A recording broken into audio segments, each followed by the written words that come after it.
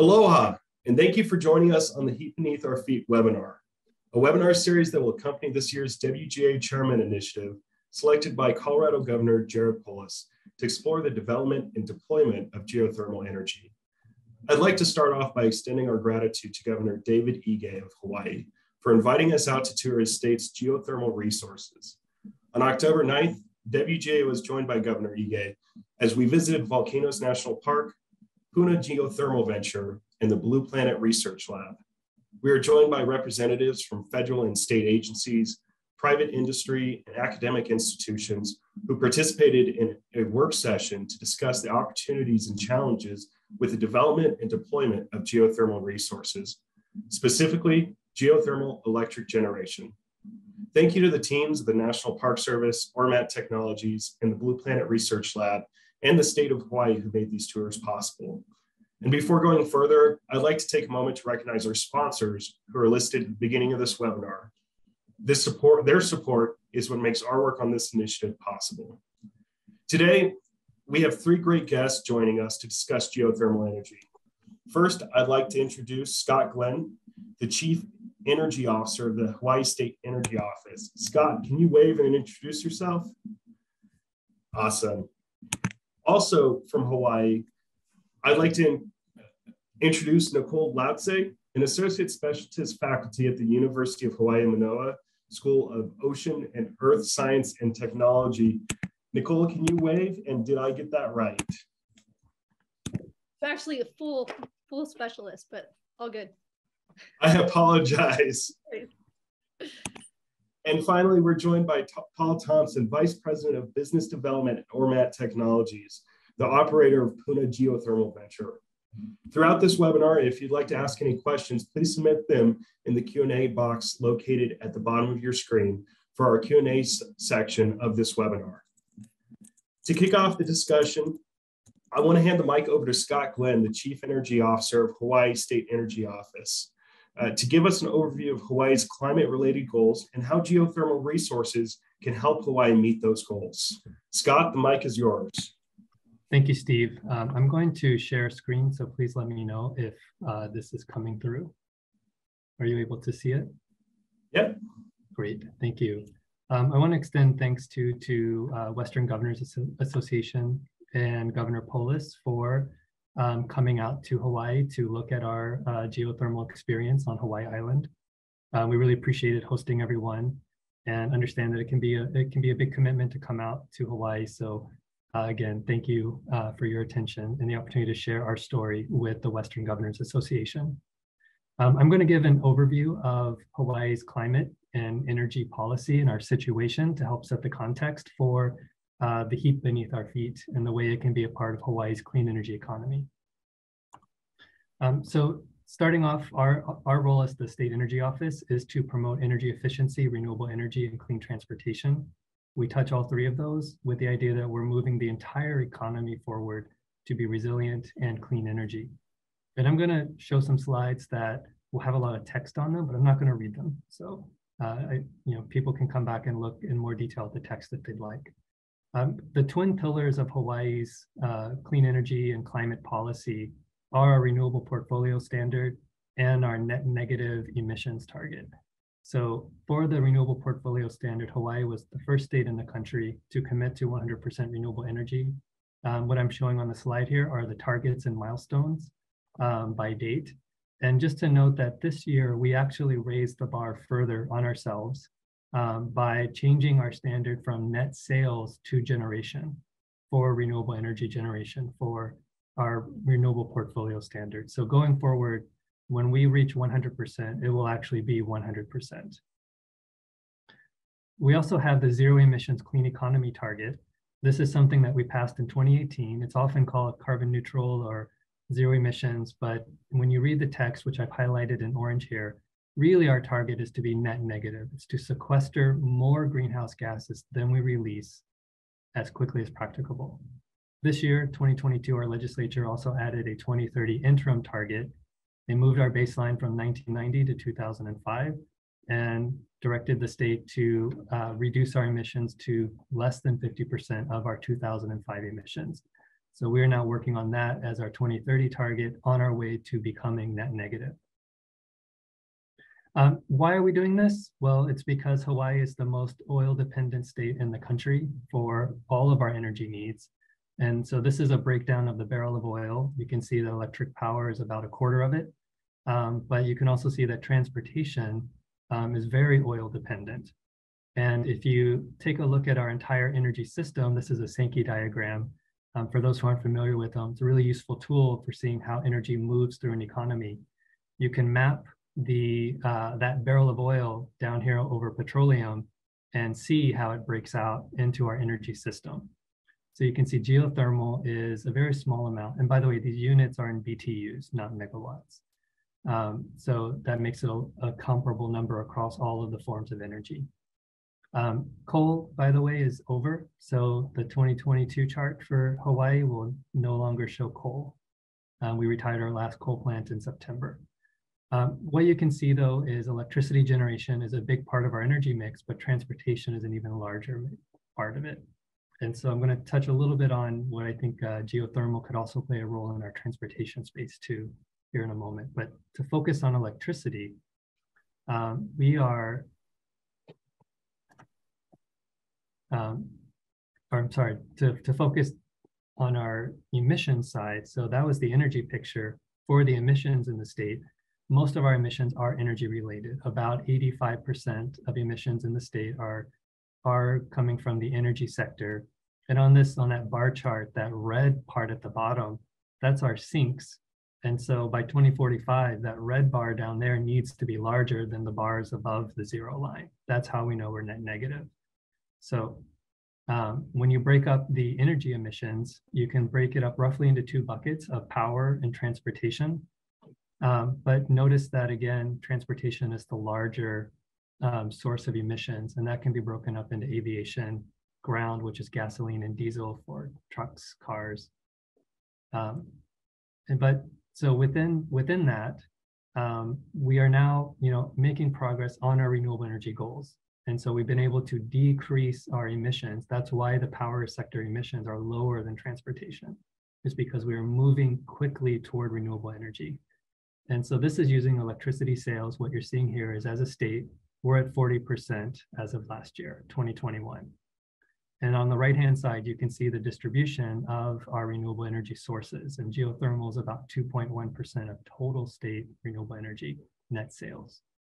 Um, however, this is not evenly distributed across the state. So, um, but before I get into that, I just want to show that the progress we've made since establishing the 100% target in 2015, we've, we've almost doubled the renewable energy in Hawaii across the state in eight years.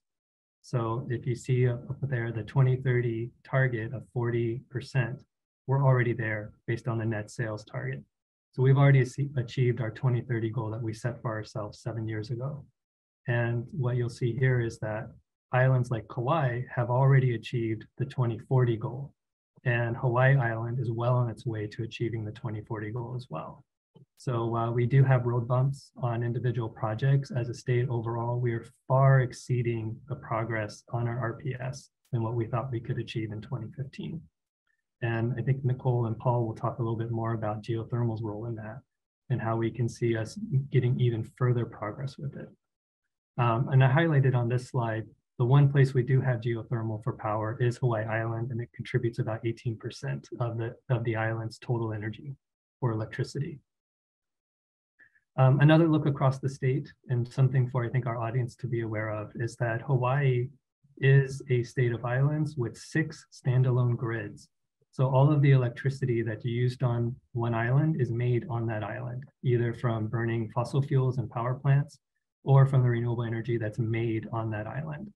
Um, we do not have any cables. We don't have any really other form of moving energy between the islands except as fossil fuels right now, um, which might be something geothermal can help out with in the future, which I'll come back to. Um, but I just want to also highlight that of the islands, Oahu is not the largest in terms of land size, but it is the center of demand. The population and the megawatts for our peak are all basically on Oahu. Um, Hawaii Island is a uh, where our geothermal power plant is, um, has a much more manageable grid size. Um, but really the demand center for the state is on Oahu. And so one of our biggest challenges will be how do we get that island to 100%? Um, and what are the opportunities there that we might be able to see for geothermal? Um, one of the one of the benefits of this, we're undergoing a natural experiment right now on uh, oil prices. So with the invasion of Ukraine, we've seen global oil prices go crazy, basically. Um, and so what we're seeing is that the more one of our islands has pursued renewable energy, the less exposure it has to price increases. Um, although Hawaii Island, at the second highest amount of renewable energy, still has a high degree of, of exposure to oil, and that's partly because of the contracts that are in place. And so one of the things we're really excited about what uh, PGV is working on and that Paul will probably speak more about is the change in the contract that they're working on with our Public Utilities Commission. Um, but what we've seen is that Kauai, which is at 70% renewable energy um, and has basically fixed prices in their contracts, is showing us that they are plateauing in terms of price increases as the global oil markets increase and have extreme volatility. And it really becomes apparent when you look at the month over month percent changes in electricity bills where you can see that basically Kauai has stayed stable throughout the last year and a half, while every other island's electricity rates have increased. And that's because of their higher exposure to oil. And in Hawaii Island's case, some of the older uh, contract terms that they have. And so again, we're really excited to see those get updated because we think it'll be a direct benefit, especially to low income people, people who live on fixed incomes, to be able to have predictable, stable electricity prices. And reasons to get off of fossil fuels is to get away from that volatility. Um, and just underscore too, our, our dependence, our oil um, in Hawaii generally comes from, you know, countries we have concerns about. And so prior to the uh, invasion of Ukraine, as much as 50% in some years of our oil came from Russia. And so, you know, that has stopped now. Uh, there's no guarantee that that will stay stopped. We hope it will. Um, and we've mainly shifted our oil importing to Libya and Argentina. Um, and that's for a number of reasons, not to get into here, but just to highlight that we don't, as a state and a country, want to be depending on Russia or some of these other countries for our oil.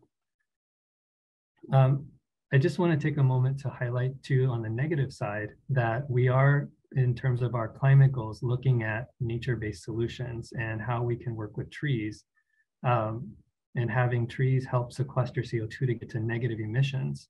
Um, but I don't think that's going to be enough. And I think one of the things that we're really looking at here um, is an example from Iceland, where they have a geothermal power plant paired with a direct air capture plant.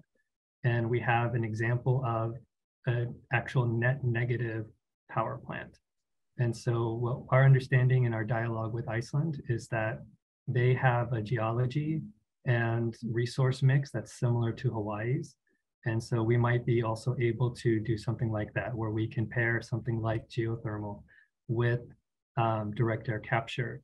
So in thinking about, and just to wrap up here, um, thinking about some of the opportunities that the heat beneath our feet can provide to our clean energy economy.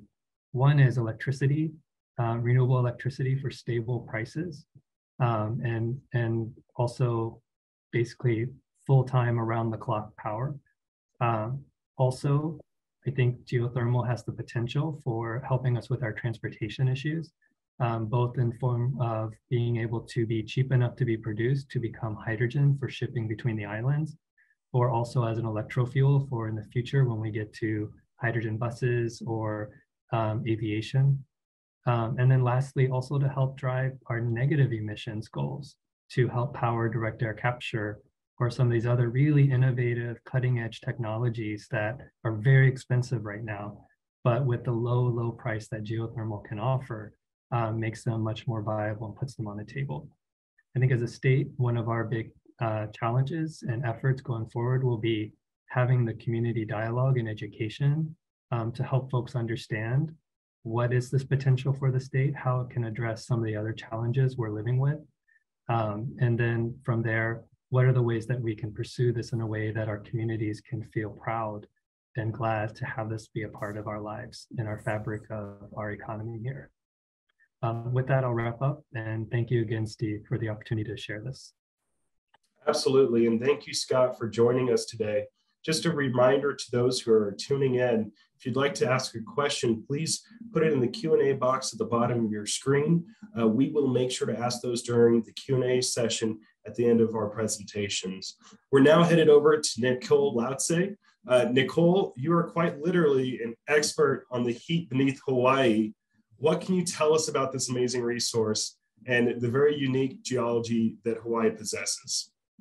Yeah, thanks, Stephen, for the invite to present um, today in this webinar. And Scott, that was a perfect kind of kickoff to what I'm going to present. I'm a geologist by training, and so I'm going to get kind of a lot more into the nitty gritty about what we currently know about the state of Hawaii's resource.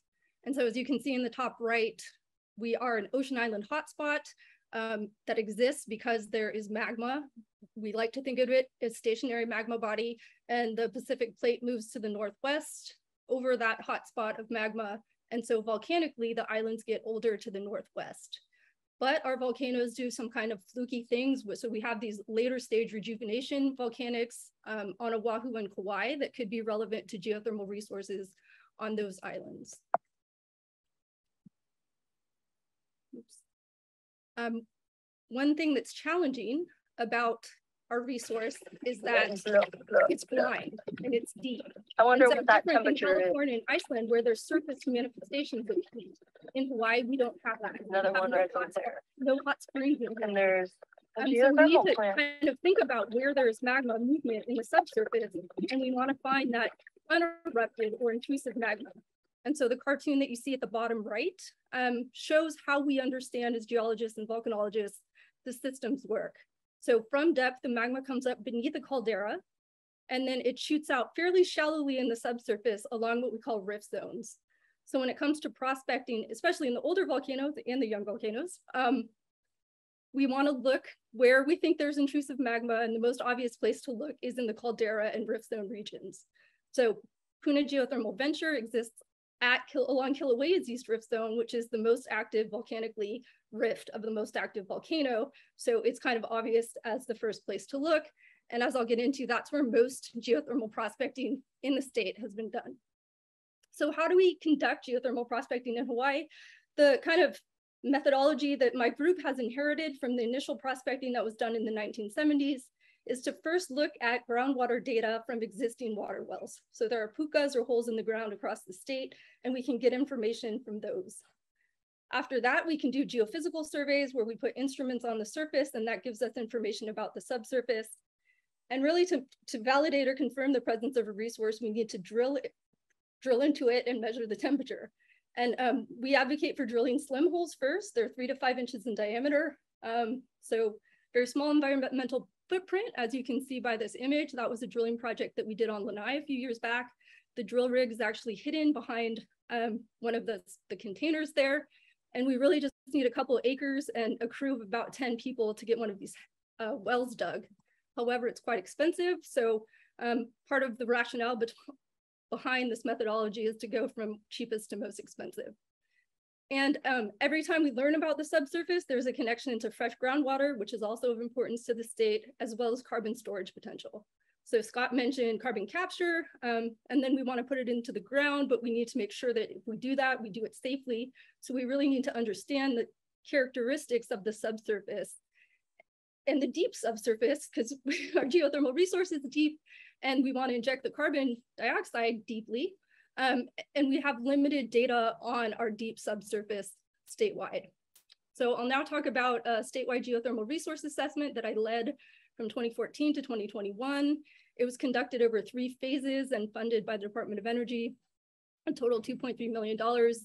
Um, and what I'm showing here is kind of a teaser. This is our final probability map. And we decided in the end to focus on just the probability of subsurface heat. Um, not fluid because we have fluid in the state, we're an island environment, and permeability is another quality of the subsurface that's important for traditional geothermal development, but we just lack data on the subsurface permeability. So we kind of decided at the end of this project to concentrate just on subsurface heat. Uh, and in this map, the warmer colors are higher probability.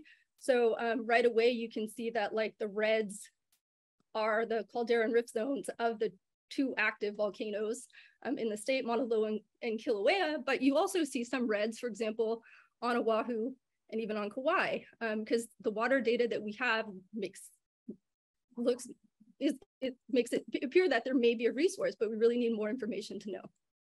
Um, so how did we get to this map? So I'll kind of quickly run you through what we did for this project. Um, in step one or phase one, we were only allowed to do a desktop study, not to go out and get new information. Um, so we identified, aggregated, and then ranked existing data types relevant to subsurface heat fluid and permeability. That's what the Department of Energy asked us to do in phase one. And they're grouped, color coded um, by geological data types, geological, geophysical data types in red, and then groundwater data in blue. Um, we also looked at Hawaiian place names, which I'll show here. It's this image um, in the middle bottom because Hawaiian place names are descriptive. And so for example, something like a rotten egg smell could tell us something about um, what Native Hawaiians observed in the past when they were generating the place names. So top left, um, I'm showing groundwater temperatures. So that data is publicly available from existing wells. So we plotted that up. What you see on the right is just geologic data from a geologic map that's published. And on top of that, superimposed gravity, which is a geophysical data type that tells us about the density of rock in the subsurface. And in Hawaii, we want dense rock, um, which is signifies intrusive magma. Um, we also did maps, so we developed a statistical approach to integrate all those data types I showed you into a probability map. Not going to go into this, but in phase one, we did plot the probability of heat, permeability, and fluid and used a product rule to get to resource probability. Once we moved into phase three, we decided, you know, our fluid is pretty equal to one at resource steps, and we don't have enough information on permeability at resource depths to really use that information into our mapping um, statewide. So phase two, we were allowed to go out and gather new groundwater and geophysical data. Um, we acquired groundwater data statewide. Um, we concentrated our geophysics on the island of Lanai and a little bit on Maui. On Maui, the terrain made it more challenging and a little bit of geophysics on Big Island. I'm not showing that results here, but it's published. So you could reach out to me. I could send you the publications. Um, and then in phase three, we were tasked with drilling to uh, attempt to validate what our mapping had done in the prior stages. And so we went to Lanai, um, where there was already a 1500 foot deep water well not in use, and we were able to deepen through that. Um, and what I'm showing here, so again, it's, it's the photo of the drill setup. And on the left, this is a temperature depth plot. So to get to geothermal, we want these warmer temperatures and um, we're going down in the earth uh, as we go down on this plot. And Lanai is in green. The wells that were drilled into Kilauea's East rift zone are in red. So super volcanically active and hot. And then other wells that were drilled um, in the state, deep wells, are in the blues. And so I hope what you can see is that for the depth that we got to on Lanai, we're kind of pretty exciting. Like we're right in that range of temperature values that were measured even in Kilauea's rift zone. And this also shows why we really wanted to get deeper because it's not until like below one kilometer, um, a thousand meters on this plot that the, the temperature gradients increased um, quite substantially, even within Kilauea's East, East Rift Zone. So on Lanai, the drilling was funding limited. Um, we didn't get to choose our site. We, we deepened an existing water well that was pretty close to where we would have gone. We didn't get deep enough, um, but we still appear to be onto something. And it's really these results that have me personally excited about the potential on Oahu, um, which Scott mentioned, which is where the energy load really is. Uh, on Oahu, we can't, um, well, our tests so far have shown that, that one key geophysical method we use is not successful. It's an electromagnetic method and there's too much EM noise uh, on Oahu where we have more infrastructure. So I, I advocate for just drilling some slim holes on Oahu and measuring what the temperature is. Uh, and uh, Scott mentioned education as well. I just wanted to mention that in that research project on Lanai, we made a concerted effort to involve the community. Um, so several publications on the project were involved. We had community meetings and we hosted an open house where the community could come um, see the drilling in action with caution tape around it and look at some of the core and look at the drilling fluids. And I think that went a long way to um, gain trust of the Lanai community, who I think in the end mostly supported our project. Um, I'm gonna end by reviewing where we are in the state in terms of data collection, those three steps I mentioned, and we've looked really fairly comprehensively at groundwater statewide. Um, through UH, we're starting to get a handle on, on the geophysics, particularly for Big Island and Lanai. Um, I'd like to do some geophysics on some of the other islands as well. Um, and in fact, it's these data types that pretty much went into our final probability of heat map. Um, we also have a confidence, calculated a confidence in the probability. And of course, our confidence goes up the more data types we have, right? Um, where are we in terms of drilling data, that deep drilling data? Well, we're, we're bad. And that's why I say I advocate for drilling more of those slim holes. So where drilling has been done is along Kilauea's East rift zone. So that's what's in the bottom right. Um, the yellow dots are geothermal exploration wells, largely drilled in the 1970s. And then the stars on this map of Hawaii Island show some locations where other drilling has been conducted. And then I, I think it's true to say that the drilling that my project did on Lanai a few year, years back is the deepest well now off of Hawaii Island. So that was the first attempt to get heat data off of Hawaii Island. And again, it looks good, so that's encouraging. Um, when I think what we need to do if we want to understand what our resource and geothermal resource in the state looks like is to drill more of those slim holes. And people ask me, how much money would you want? Say, I, you know, 20, 50, 100 million. Um, would enable us to, I think, very well understand where our geothermal prospects are across the state. Um, that sounds like a lot of money, but we spend billions per year importing money. I mean, importing the fossil fuels. So is it really that much money? And then also people say, where would you start? What island, what volcano? Um, and those are discussions that can be had if there was funding to move this forward. Um, I was going to show the final map one more time.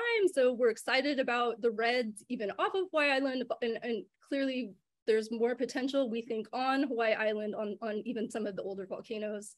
Um, perspective, California has 2,700 plus megawatts of geothermal online with a call to get another gigawatt online within a few years.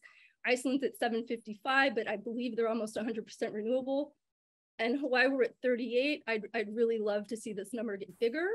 Um, and again, it's going to take money, it's going to take work, it's going to take several years, but I think we're capable of doing it and we should do it. And I'll end there.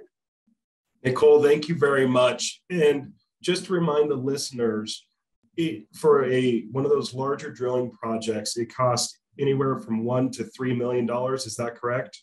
two to three million dollars yeah and i think actually if we could get a drilling program going we could have increased efficiencies that would enable us to decrease the price a little bit um, but i think you need insurance with drilling because you're never quite sure how it's going to go paul can probably okay. say that as well so i like to say three million per well and, and i think i see paul you might want to give comment when we get to him next about how how much drilling might cost but nicole thank you very much for your presentation uh, I just wanted to address a quick question that we received through the question box. Uh, for those who are asking where they can find these slides, uh, we are recording this webinar and it will be up on Western Governors uh, uh, Association's YouTube as well as social media. So you'll be able to find this presentation uh, after the webinar ends.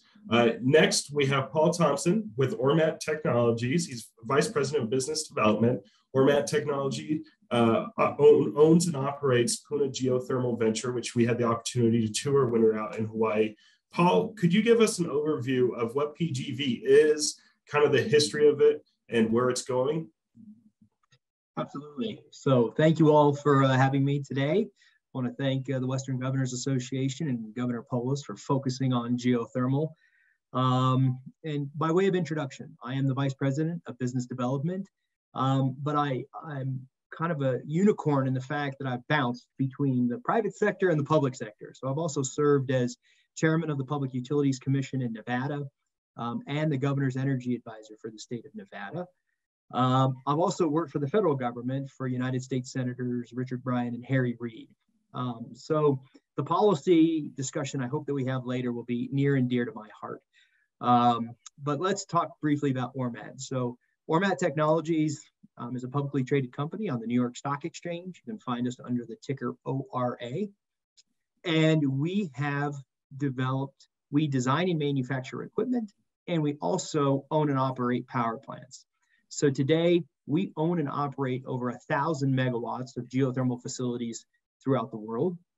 We've also been responsible for developing an additional 2,000 megawatts of power plants in 31 countries around the world. Um, I think it's exciting to see a lot of the new discussions around geothermal. And, um, you know, we, we kind of like to focus people that geothermal has been around for a long time and it has, you know, provided incredible benefits. And so it's very exciting to see this discussion and I'm thrilled to be here. Um, Geothermal Venture was uh, developed in 1993. It was really one of, I think, the first geothermal project. Well, the geysers in California is about 50 years old, um, but PGV was the first of its kind on a volcanic resource in the US.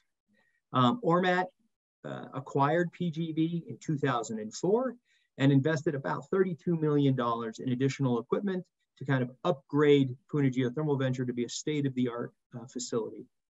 What is unique about Puna Geothermal Venture is it was one of the few places, or the first places in the world where we had a combined cycle geothermal power plant. And many of you listening have maybe heard of combined cycle natural gas facilities.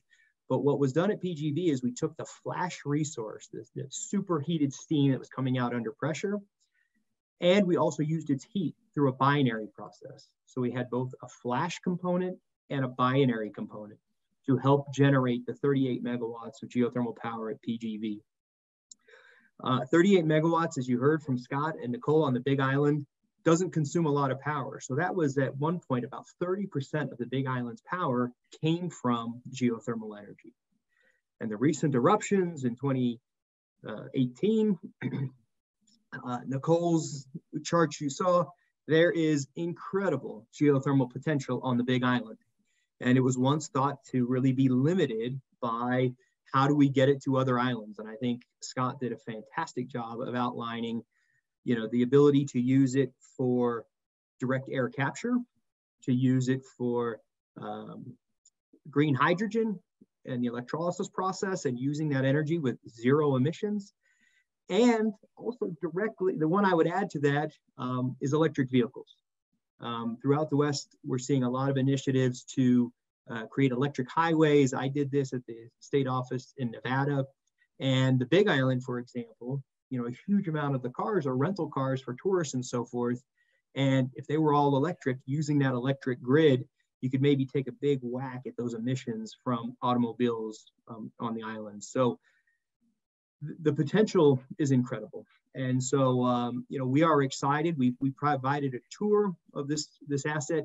And as many of you may have seen, and if you haven't, go to YouTube and check out Ormat's site or any Hawaii volcanic eruption, um, the recent eruptions really came directly around our facility. It actually completely surrounded the Puna geothermal venture that was built on a previous uh, caldera. So we were kind of a higher elevation. Um, and it really proved the resiliency of geothermal projects. When we find this resource thousands of feet below our feet, um, you know, a volcanic eruption, ash, lava coming over it, doesn't decimate that incredible resource. And at PGV, we proved that. We were able to cover up wells. We had an emergency response plan. Um, the lava inundated, you know, came over some of those wells. It didn't actually touch the power plant. And we were able to drill back, clear that lava, look at those wells, um, you know, fix them for lack of a technical term, and start using them again for injection and production from that resource. Um, and we've had to do a lot of work that we didn't expect kind of on those, you know, how to get those wells back and performing the way we wanted them to. But we're incredibly excited to see that things have gotten hotter. The rift is, uh, you know, still producing this incredible resource below Hawaii's feet. Um, and that's the same whether you're in California. You know, California has a slightly different resource, but there's incredible geothermal potential. Nevada, we operate projects in Idaho, um, Utah, you name it. There's probably been a geothermal project there that ORMAT has um, uh, been a part of. So I'm happy to kind of answer any questions moving forward about PGV. From the contract perspective, as Scott talked about, since its inception in 1993, the energy from Puna Geothermal Venture has enabled the, the displacement of about 14 million gallons of oil.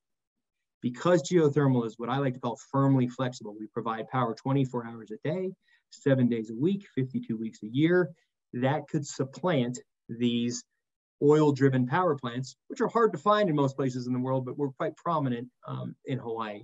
But they can do the same for coal facilities in the West, reductions in natural gas facilities. If you're looking for a capacity resource, there's nothing better um, than geothermal. And so we are trying to expand that resource. We are also renegotiating the power purchase agreement.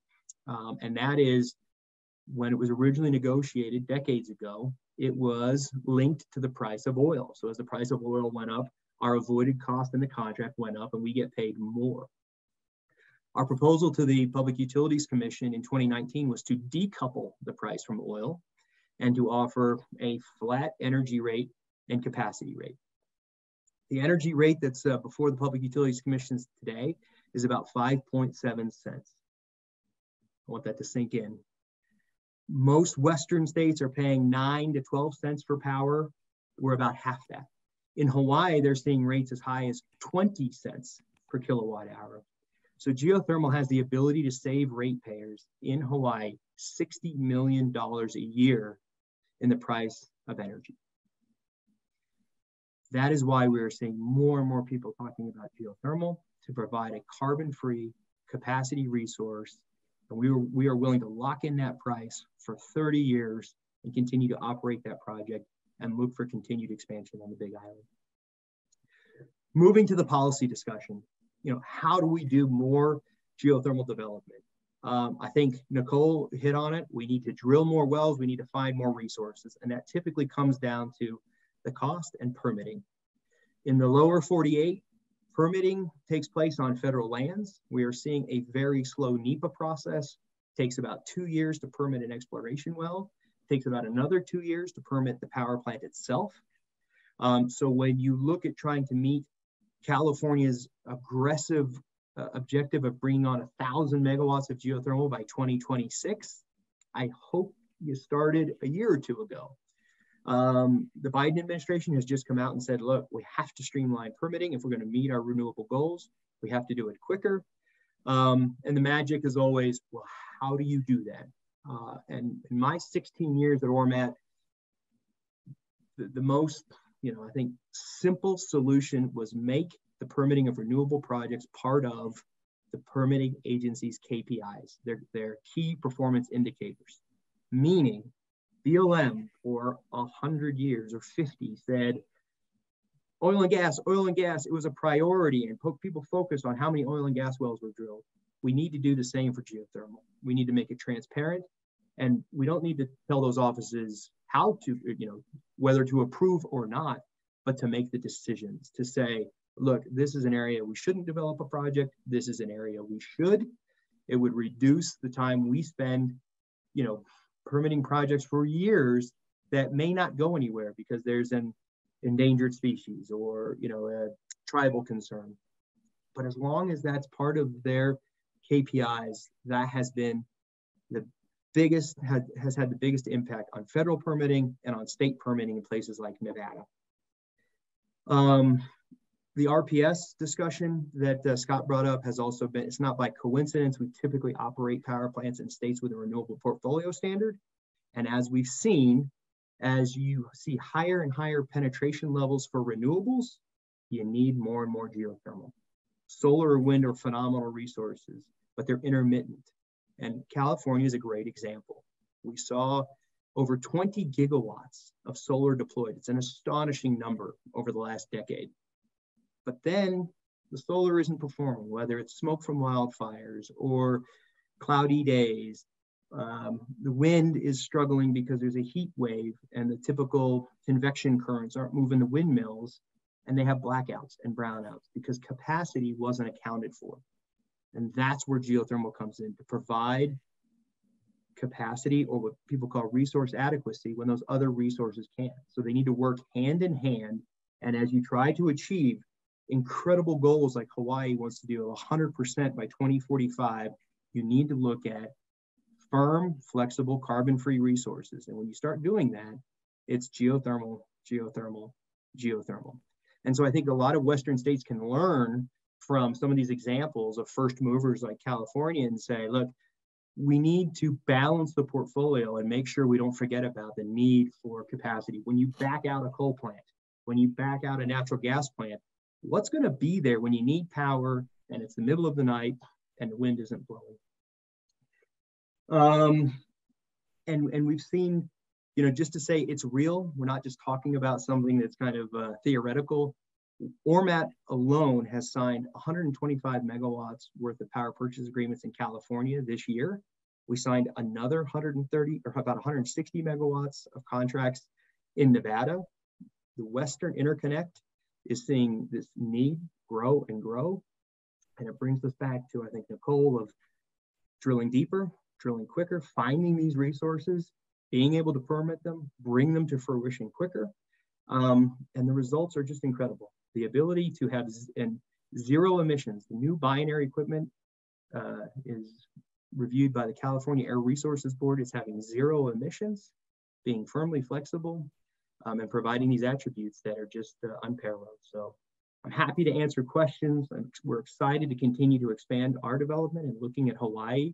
Um, and I think, you know, Hawaii has just been, I'll finish with Hawaii because I think it has been kind of at the, the forward tip of this discussion and it can do incredible things because of these resources to try to move to make the renewable power part of its baseload, relegate fossil fuels to be part of its peaking, and then figure out how to do away with it with innovations like direct air capture, green hydrogen, electric vehicles, etc. So, thank you all. Well, thank you very much for that perspective. Uh, we've gotten some great questions in. I'm going to try to run through as many as we can. The first one excuse me, goes to Scott. Uh, and Scott, the question is how much interaction do you have with DoD on developing renewable energy options given the large presence of military in Hawaii? And I will expand that to other federal agencies as well, because in our work session, that got brought up quite a bit. Thanks um, for the question. You know, D&D, DoD has been um, an important partner in Hawaii on our renewable energy goals. Marine Corps Base Hawaii has been testing tidal power, wave power for a long time. Um, we just opened a, we just did a groundbreaking ceremony for a solar plus battery storage project at Joint Base Pearl Harbor. Um, Joint Base is also where we have a hydrogen fueling station that the Air Force uses for some of their on-base hydrogen uh, fueled equipment. So there's a number of ways that we work with the DoD on renewable energy. Um, for geothermal potential, um, there's nothing currently um, happening. However, uh, looking at the maps that Nicole shared, several of those red spots are underneath lands that are currently either leased or to the DoD or are reserved by the federal government for DoD use. And so there's there's opportunities for discussion there and some dialogue has happened.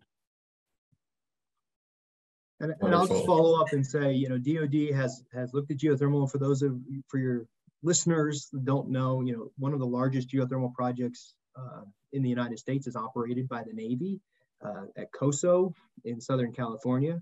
So they have experience, um, and there is room for really innovative projects. Uh, Ormat has done some projects at the Rocky, the Strategic Oil Reserve at Rocky Mountain Oil Test Center using uh, heat from uh, oil and gas wells to produce additional electricity with no new emissions. Um, and those land resources, I think the DoD uh, through the Navy would be very interested in uh, expanding. The conversations we've had is they want to find secure domestic sources for energy. And if you can find geothermal, there's really no better secure domestic resource. Wonderful. We have a question from Stanley Osserman. Uh, and his question is Could modern directional deep drilling be used to generate geothermal power safely in Hawaii onshore and even offshore by drilling deeper than one kilometer? And I think Paul and Nicole, you guys might be uh, some of the experts on uh, modern directional drilling. I'm looking up one kilometers. How many feet? 3,000-ish.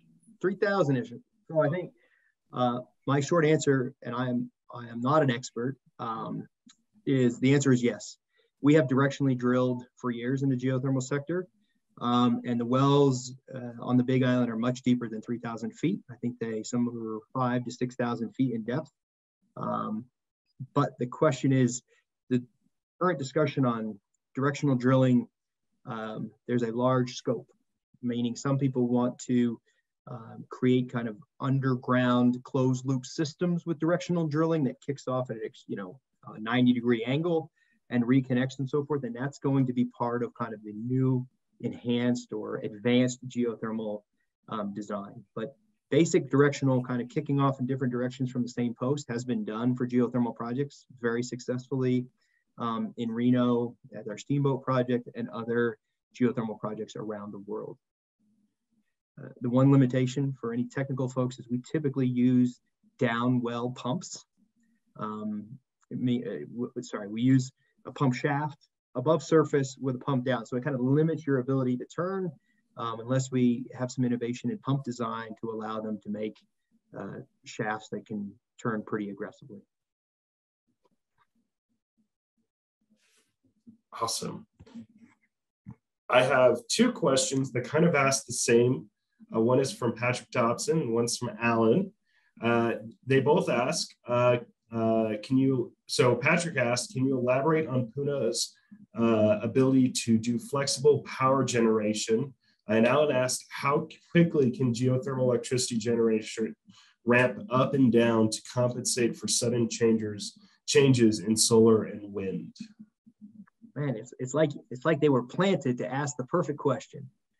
Uh, so the binary design, and I don't have a diagram of this for you, but we basically, we heat a secondary working fluid, which vaporizes and turns a turbine. We then take the vapor out of the backside of the turbine, we cool it back down and inject it back into the geothermal reservoir. So there's no emissions. We can simply add a bypass valve. So once the working fluid flashes, instead of going across the turbine, it goes to the air coolers, it cools back down, goes into the reservoir. We don't lose any geothermal brine because it's in its closed loop system. The working fluid cools back down, goes back in to vaporize again, and it allows us to um, ramp the power plant up and down faster than a combined cycle natural gas plant. And one of the first places we did that was at Puna Geothermal Venture. We provided the option for Helco to run it in what we call AGC or automatic grid control and they can ramp the power plant up as needed. Um, and it wasn't, it, at the time, it was, they didn't have a huge load in the evenings. So they would curtail us, um, which could be another option for using that excess energy for hydrogen or direct air capture. Um, and then when loads increased, they can ramp us up. And current state of the art binary technology today, because we're not uh, having to heat something, we're simply opening and closing a valve. We can provide uh, VAR support, and all of the kind of ranges of ancillary ramping benefits uh, because we can do it so quickly. Wonderful. Uh, and we had a question that was actually emailed uh, beforehand. Let me pull that up really quickly. Uh, the question is, uh, many states have upgraded their public data access related to geothermal or encourage data acquisition to help the industry grow the small pool of steady, sustainable jobs it is famous for. Can you speak to any initiatives in the area of uh, geothermal data and things of that nature? Um, I guess maybe I'll take a stab at that as the as the state. Um, we were directed by the state legislature to become a energy data clearinghouse and we'll be um, rolling out some data capabilities here over the next few weeks and months um, through our website. At this point, geothermal data is not um, part of our initial rollout of data that we'll be releasing, but um, as we build out our data sets, we'll be looking to add more and more information around geothermal. So stay tuned, I guess, is maybe the short answer for that. And I can say that all the data from the Play Fairway project that I described is uploaded to the Federal Geothermal Data Repository. Um, and the research group I founded called Hawaii Groundwater and Geothermal Resources Center has a website that hosts much of the groundwater data in the state. Um, so if you poke around that website, uh, I think under project is or, or, maybe it's under repositories, it says Hawaii water wells. And um, I point people to that fairly frequently who are very excited to see that that page exists. And I awesome. think similar resources uh, exist in other states. So I think um, uh, in Nevada, we have the Great Basin Geothermal Center as part of the University of Nevada system that has compiled a lot of that uh, core sampling data from the mining industry and from the geothermal sector as well. Um, and it used to be called Sea Dogger. It was the California Division of Oil, Gas, and Geothermal Resources. They have a new name. They compile a lot of that data as well um, and make it all publicly available. Wonderful. Well, Scott, Paul, and Nicole, thank you guys very much for joining us to, for today's webinar uh, to talk about the amazing resources in Hawaii and the geothermal potential there.